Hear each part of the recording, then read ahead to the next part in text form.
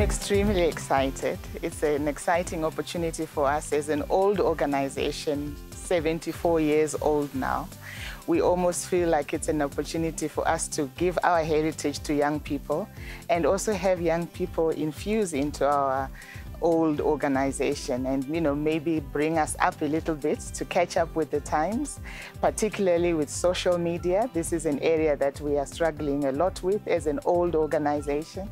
And so we're really looking forward for uh, young blood young energy and you know all that activity that young people can bring especially on the social media front. Uh, like you and I, uh, Vodacom Academy graduates, uh, we will be volunteering, assisting children with computer studies at the African Children Feeding Scheme.